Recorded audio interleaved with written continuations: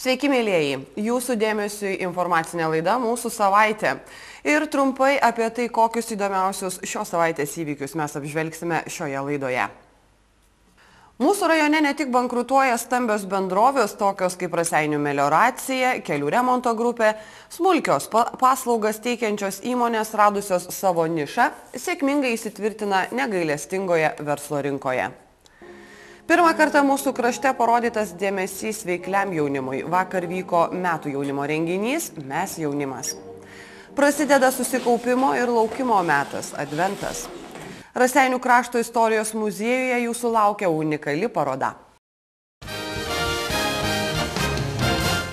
Šią savaitę vykusiame tarybos posėdėje trys nauji politikai prisiekė dirbti Raseinių rajono žmonių labui. Jiems įteikti tarybos nario mandatai. Na, 35-asis tarybos posėdis unikalus tuo, kad tai naujojo mero Algimanto Mielinio debutas vadovaujant septintojo šaukimo tarybai. Geros vietos tuščios nebūna, tad į rajono tarybą su sugrįžtuvėmis reikėtų pasveikinti Juratę Gadliauskienę, partijos tvarka ir teisingumas narė. Jei dėl grįžimo į raseinių politinius vandenis teko atsisakyti net paliepių seniūnės vietos, bet tai kokį nepadarysi dėl partijos. Po poros metų pertraukos Gintautui Mikolaičiui laimėjus didžiojoje loterijoje, gavus bilietą leidžiantį sugrįžti į Seimo koridorius ir žurnalistų balkonus, tarybos nario priesaiką davė Julius Daugelą. Ir pagaliau bent vienas naujas veidas tarp septintojo šaukimo tarybos narių. Koalicijos teisingas sprendimas atstovas, darbą rajono gyventojams dirbsantis vietoj Dariaus Ulicko, Vincentas Macijauskas. Šis naujas rajono politikas pakalbintas po tarybos posėdžio regis nesijautė patekęs į nežinia kur, kad kaip būna naujiems politikams. Ar domėjotės iki šiol politinių gyvenimų rajono? Na tai kiekvienas gyventojas turbūt domisi kas daugiau, kas mažiau, bet bendra, bendras vaizdelis visą laiką buvo. Mhm. Ir koks tas vaizdelis? Nu, Nelabai ne koks buvo. Vieni vartai.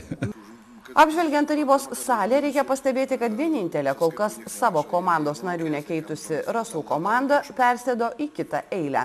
Antrąjį aukštą užėmė dažniausiai kintantys partijos tvarka ir teisingumas tarybos nariai. 35-ojo posėdžio pradžioje naujasis meras paprašė tarybos narių pritarti sumažintai darbotvarkėje.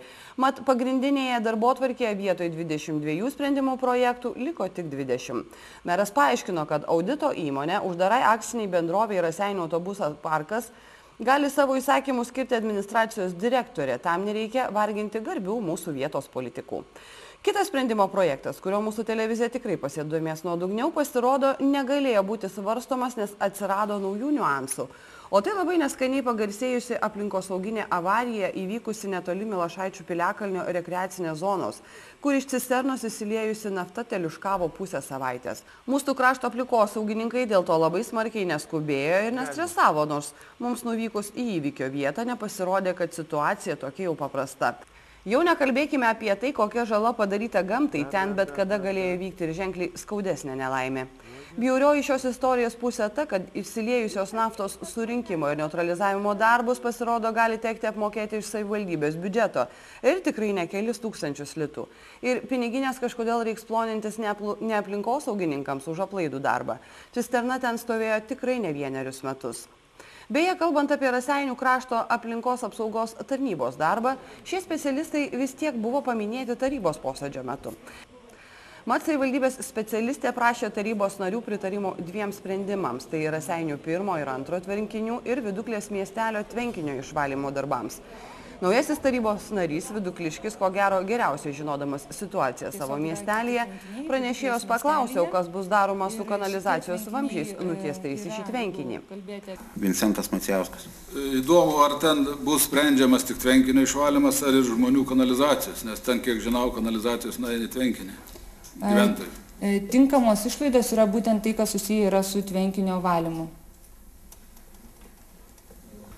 Ne, aš kiek žinau, kanalizacijos gyventojai netvenkinį, jeigu tvenkinį išvalysi, bet neįsispręs tos Šiomo... tvenkiniai. Tai Jeigu tie bus nuleistas tvenkinys ir bus rasta, kad ten yra leidžiama kanalizacija, tai kviesimės tikrai Kauno regiono aplinkos apsaugos departamento Raseinių skyriaus specialistus ir turės būti taikomos administracinės tikrai. Taip, Kristina Bartkutė. Aš manau, jeigu tarybos narys atsakingai pareiškia šitokią informaciją, tai mes nedelsim turėtume informuoti aplinkos saugos e, vadovo, kad būtų patikrintas tas tvenkinys, ar tikrai yra tokie dalykai ir nelaukti, kol bus pradėtas vykdyti projektas, o iš karto turėtų būti e, atliekami atitinkami veiksmai, kad e, tokių, tokių dalykų nuotekų į tvenkinį juos nebūtų leidžiama. Rajono meras pavedė administracijos direktoriai kreiptis į aplinkos apsaugos agentūrą. Be ne vienintelis šiokį tokį pajaukavimą sukėlęs sprendimo projektas, tai dėl mero komandiruotės į vieną. Taip, klausimų turime. Romaldo Zubėla. Gerbiu poną Milinį, merą, bet ar ne per greitai? Jeigu savo gyvenimą, savo darbą pradeda kelionėm, gal gerai, gal blogai, tai toks nu, nelabai konkretus klausimas, bet noriu pastirauti, ne per greitai. Ir koks ten tikslas? Pranešė atsakys. Lėšos jau buvo suplanuotos e, 12 metam visiems merų kelionėm, jos yra iš biudžeto pravestos Kauno regiono plėtros agentūrai ir nepriklausomai nuo to, ar meras vyks ar nevyks, e, pinigai jau išleisti. Jau tradicija yra tapusi valdančiosios tarybos narių pozicija į prašymus atleisti nuo žemės mokesčio ar nuo vietinės rinkliavos. Ji visuomet vieninga, mokesčius turi mokėti visi, tik su labai retomis išimtimis. Toliau sprendimo projektus pristatinėjo tarybos sekretorė. Šie sprendimo projektai buvo taisomi dėl įvykusios valdžios ir tarybos narių kaitos. Na ir desertui paliktas vienas šiaip jau ilgiausiai iki šiol svarstytinų sprendimo projektų - biudžeto tikslinimas. Ir ką, ogi nieko.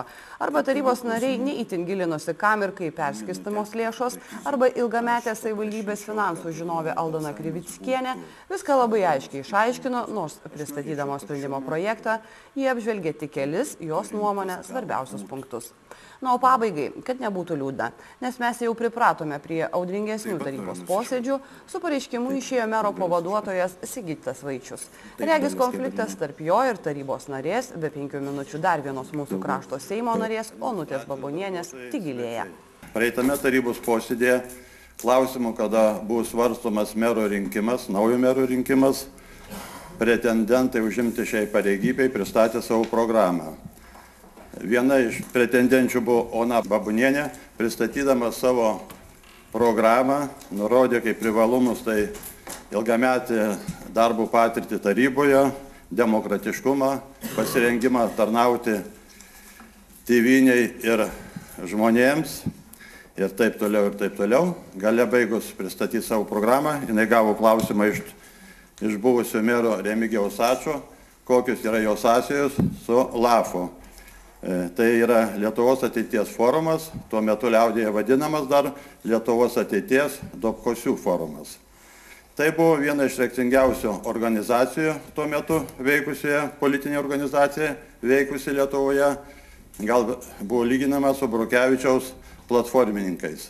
Aš paantrinau gerbiamui ačiū, kad tikrai, mano žiniomis, jinai priklausė tai organizacijai, kad, Lietuvoj, e, kad šios Lietuvos organizacijos padalinys Raseiniuose vei- veikia, tai aš e, galiu cituoti tuometinio naujo ryto e, straipsnį, to ir dabartiniam laikraščiai naujas rytas straipsnis buvo Purvo vonia, e, kuris įspausytas e, 91 Liepos 2 dieną.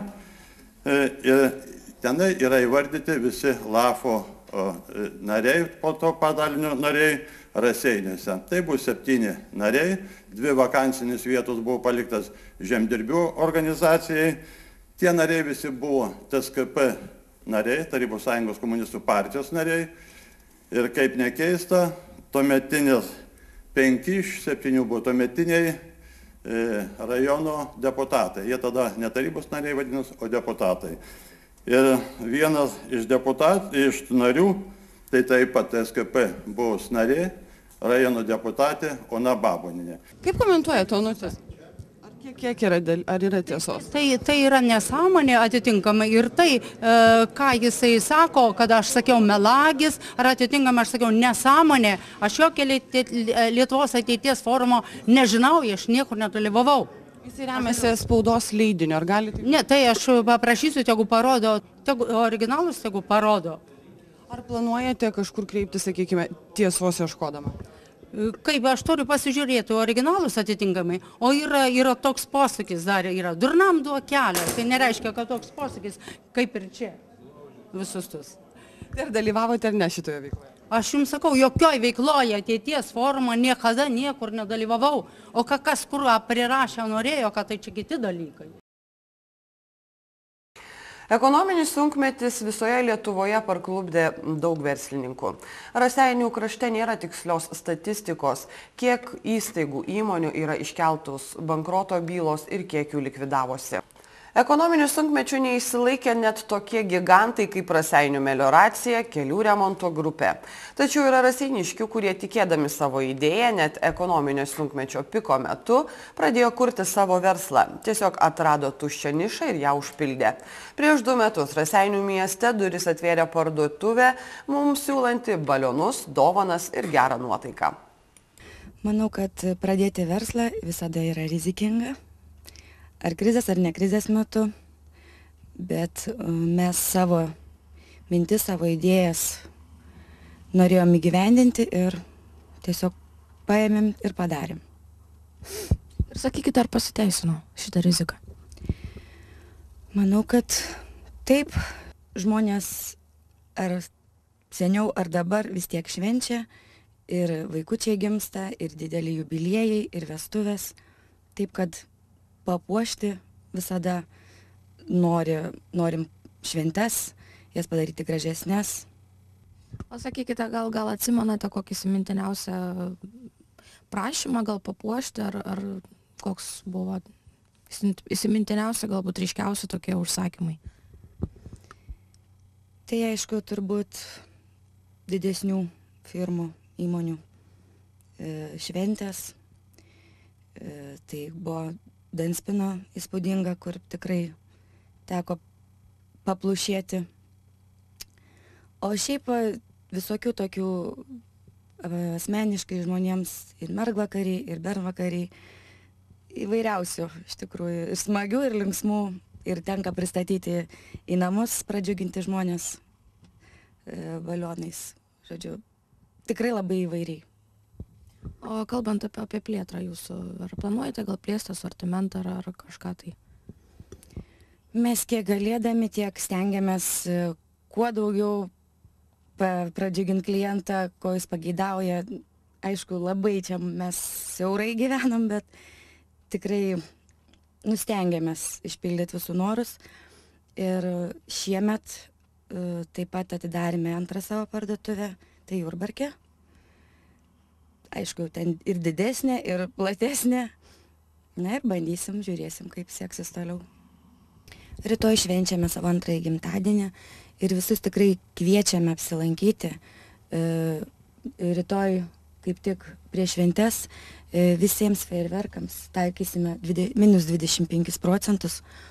Ir dar ką nu, norim pasakyti, kad turime naujieną, jungiame fejerverkų baterijas, darome junginius, taip kad e, šventė dar įspūdingesnė gali būti ir pradžiuginti tikrai kiekvieną. Pirmą kartą mūsų krašte apdovanotas aktyviausias jaunimas. Į metų jaunimo renginį, kaip ir tikėtasi, susirinko daugiau jaunų žmonių, kurie aktyviai palaikė saviškius. Nuo 17 val. į rajono kultūros centrą pradėję rinktis svečiai pirmiausia susipažino su trečiame aukšte vykusios parodos Sportas visur darbais.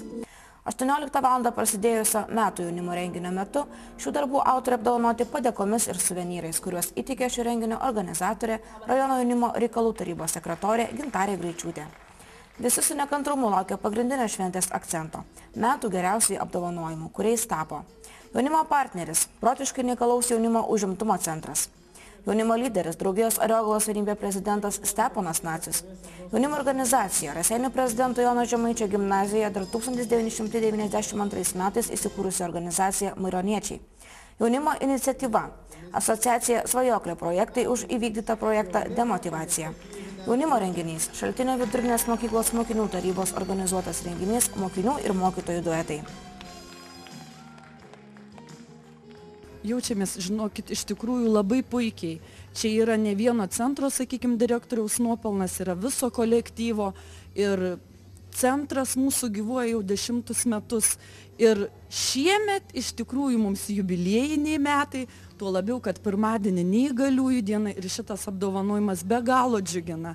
O mūsų par, kaip partnerių gavome tą nominaciją, mūsų geriausi partneriai ir be abejo yra ir jaunimo reikalų bendruomenė, bet pati pati patys geriausi draugai, dar ir šiandien draugo diena, tai yra Raseinių viešoji biblioteka. Patys nuostabiausi, patys supratingiausi ten dirba žmonės ir be abejo jų direktorė Daina. Ačiū jiems už pasiūlytą mūsų nominaciją. Sakykite, ar tikėjotės? Na, žinot, vis tiek dirbi ir kažko tikiesi. Vis tiek dirbi ir kažko tikiesi, tuo labiau, kad renginiai vyksta nuolat, nuolatos. Na, širdį pakuteno ta nominacija. Sakykite, tai ar sunku su to jaunimu dirbti visgi? Na, aš kaip minėjau, tai čia ne mano vienos nuopelnas, dirbame šeši darbuotojai. Iš tikrųjų, darbas yra nelengvas, bet kai matome jaunuolių šypsanas, begalinį norą atvykti į centrą, jeigu, sakykime, kažkada netyčia mes netvykstam, ar būtent kažkokios, kažkokie trukdžiai yra, tai jaunuolių ir mamos, ir patys jaunuoliai skambina ir prašosi į centrą. Tai, tai ko gero tas ir yra įvertinimas, tas mažytis, būtent ta šypsena ir, ir, ir tas džiugesys, na ir aišku, tėvų atsiliepimai. E, sakykite, jūs nuomonė, tokie renginiai, kokie, vat, ką tik vat, sudalyvavome visi, ar jie reikalingi, ar jie naudingi, ar gerai, kad tokie renginiai vyksta iš vis? Na, aš išgirdau čia įvairių nuomonių, būtent per nominacijas, per įteikimus. Aš manau, kad šitokie renginiai iš tikrųjų reikalingi. Subūrė jaunimą visų pirma, būtent bendraminčius ir jaunimui, būtent šio laikiniam jaunimui, renginių niekada nebūna per daug. Ir bet koks renginys, na, ne bet koks, ne taip gal pasakiau, visi renginiai yra laukiami ir, ir, ir su pašmaikštavimais, ir su nuotaikinga muzika, ir su nominacijom. Iš tikrųjų, mačiau, pasižvalgiau, mes truputį atvykome anksčiau, labai puikia nuotaika ir, ir atsiliepimus už nugarų, šūksnius girdėjau. Tai padeda jaunimui ir atsipalaiduoti. Mokslai iš tikrųjų sunkus yra ir, ir jų dar jie pasižiūri tiesiog būtent, ką jų kolegos sugeba. Ir paskui be abejo patys tai kažką mėgina daryti. O dar kartelį norėčiau visus būtent neįgaliuosius pasveikinti su jų diena, su neįgaliųjų diena, kuri bus pirmadienį. Ir visiems palinkėti sveikatos, darbuotojams dirbantiems su neįgaliaisiais kantrybės, sveikatos, ištvermės, nors jie ir taip ištvermingi. Ir be abejo gerų, džiaugsmingų ateinančių švenčių. O Rasinių televizijai gerų interviu, gerų sutik, sutiktų žmonių ir geros nuotaikos, kurias skleidžiate savo eteryje. Ačiū Jums. Renginio metu scenoje pasirodė šokio ansamblį Dinavo kraštietė Karolina Juškaitė, Regulos gimnazijos grupė Jaunieji bardai. Šventėje netrūko gerų emocijų, tad belieka palinkėti, jog šiais metais pirmą kartą surinktas tokio pobūdžio renginys taptų tradiciniu, sukviestų ir sudomintų dar daugiau žmonių, bei suburtų tokį pat šaunų ir aktyvų jaunimą.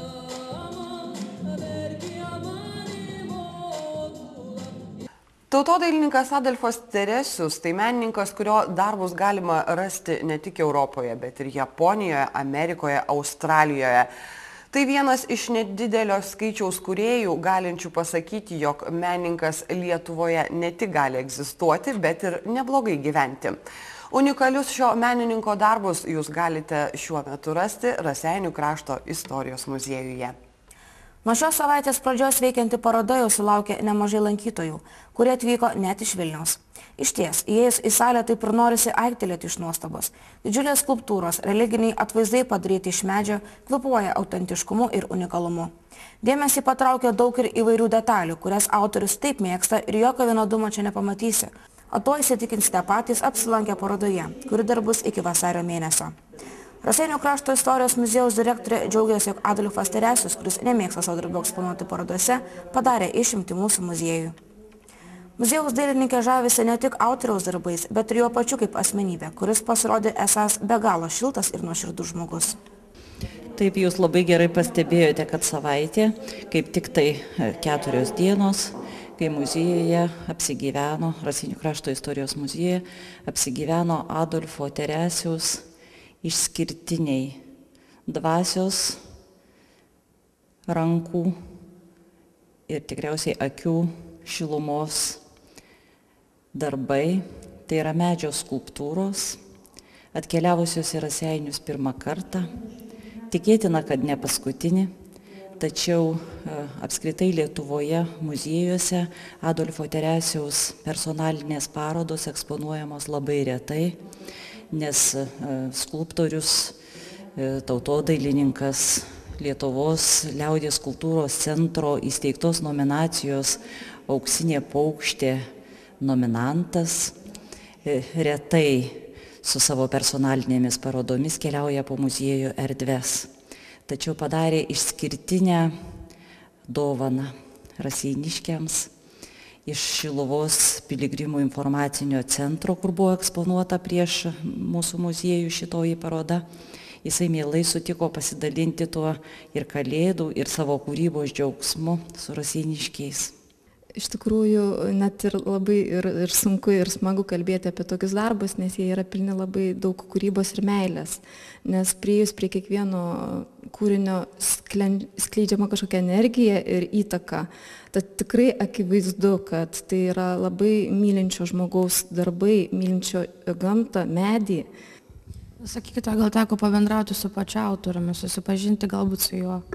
Tikrai pirmą kartą mačiau autorių tokį energingą, tokį pilną šilumos energijos ir kupiną nu, tos meilės. Bet ir tikrai yra pasakyta, kad žmonės dirbantis jie atsiskleidžia per darbus nes autorius tiesiog išgyveno, pats dėliojo tas skulptūras čia, sukūrė jiems gyvenimą, pats nešiojo ir iš tikrųjų iki pat pabaigos, iki pat nuotraukų pakabinimo dalyvavo kartu ir mes e, tiesiog dar pasitarę galvojame, kaip išeksponuoti, sako, kurkite naują istoriją, galite šventasis žiūrėti ir į kairę ir dešinę, sako, tai yra tiesiog išgyvenama ir būtent autoriaus nuoširdumas, paprastumas, toks žemiškumas daro šitos darbus dieviškus. Kaip žinia, autorius yra ne tik, ne tik Lietuvoje savo darbus pristatęs, bet ir ne tik ir Europoje, bet ir kitose šalyse. Taip, tikrai įspūdinga yra biografija ir labai daug yra, netgi per 50 parodų sukūręs užsieniuose ir skulptūrų parkų įkūręs 2000 metais gavęs sertifikuotą tautinio paveldo ženklą ir šitie darbai yra sertifikuoti tautinio paveldo atstovai, tad mums tikrai garbė turėti tokias vertybės. O kaip mūsų rasiniškiai, kaip ar jie vis tiek yra jau lankėsi parodoje, ar, ar, daug, ar daug sulaukėte lankytojų, kokie jų galbūt įspūdžiai pamačius šitos grožius? Labai tikrai smagu, kad e, raseiniuose jau ta žinia sklinda ir per savaitę mes jau tikrai turėjome lankytojų, šiandieną dar aplankė Vilniečiai, tikrai užsukama čia ir lankoma. E, kas liečia jaunimą, tai tikrai vertėtų ateiti ir, ir dailės e, mokytojų studijoms, ir darbų technologijos studijoms, kas drožinėtojai yra, nes tikrai labai daug tikrai autorinių tokių medžio savybių turinčių dalykų, kur verta pasimokinti ir, ir jaunai kartai. Adventas krikščionių religijoje tai laikotarpis, kuris reiškia laiką iki Jėzaus gimimo. Adventas prasideda lapkričio 30 Švento Andrėjaus dieną ir trunka keturias savaitės iki kūčių ir kalėdų. Tai laikotarpis, kada krikščioniškas pasaulis ruošiasi Kristaus gimimo šventiai. Labai dažnai tos kalėdos pas mus yra supaprastinamos ir supiginamos iki tik tai tokios šventės, kur viskas blizga, kuri reikia būtinai sočiai pavalgyti, pašvesti, kur ateina kalėdų senis su dideliu maišu dovanų, tačiau pamirštam, kad tai iš tikrųjų yra Kristaus gimimo šventė. Ir adventinis laikotarpis yra tam, kad pasiruošti tai šventiai. Kaip galima įvertinti tai, kas iš tikrųjų gera ir smagu, jeigu visą laiką bus tik tai gera ir smagu. Linksma, linksminsimės ir nematysim tos esmės. Tai iš tikrųjų tai laikotarpis, kada reikia pagalvoti, permastyti, padaryti tvarką ne tik tai namuose, bet ir sieloje, susikaupti, pagalvoti, o kokią dovaną aš galiu Jėzui atnešti. Jis tai duoda dovanų. Ir kalėdų senė atsiunčia, ir pats daug dovanoja. Bet ar aš galiu atnešti jam kažkokią tai padovaną, pasveikinti, tai jo gimtadienis. Kągi, šį kartą tiek mūsų savaitėje. Susitiksime lygiai po savaitės, penktadienį, įprastų laikų, 18 val.